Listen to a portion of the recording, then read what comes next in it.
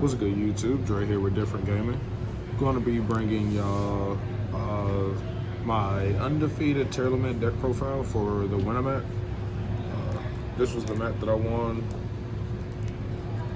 On your on your mark, get set, go. Um,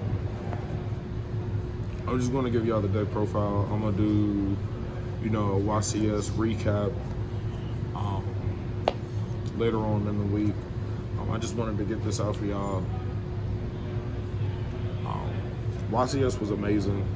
Shout out to the boys. Different gaming, we out here. So get into it. I play two Reinoheart. Uh, one of one of each of the names. Three Tear Cash, and then two uh, two Fenrir. Then of course the Shizu cards. Then three King of the Swamp. Uh, Jewel Swarm, Beast for my darks. And then the Bystials in the main was just killer today. Uh, Night Sword Serpent to help go into Bahamut Shark. And then an addition that I made to the list uh, night before YCS was three Ash in the main. For the spells, one Polymerization, one Call by, one Foolish Burial, one Foolish Burial Goods, heartbeat, two Scream. Um, that was it for the Tearlament name spells, and then three Perlereino to go with it.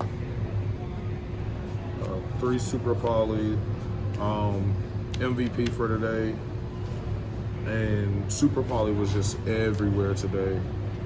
For the traps, one Trevor Karma, one Metanoise, two Sulliek. For the extra. One Barricadeborg Blockers, Spren, Dark. Uh, one Dweller, Time Thief, Bahamut, totally awesome. Garura, Mudragon, Dragostapelia for Super Poly, and then just fusion names in general. Uh, for the two flex spots, uh, I did Winda and Restrict. Rulkallos, Kaleido Heart, Grapha. Onto the side deck. Uh, one Skullmark Ladybug, one Nib, two Lancea, two Ghost Bell, two Dro, one Herald of the Abyss, two Triple Tactics Talent. Then going first, Cryme, TC Boo, and then just generic uh, Empire. Uh, that's the deck list. Hope you all enjoy. I know I had a fun time this weekend.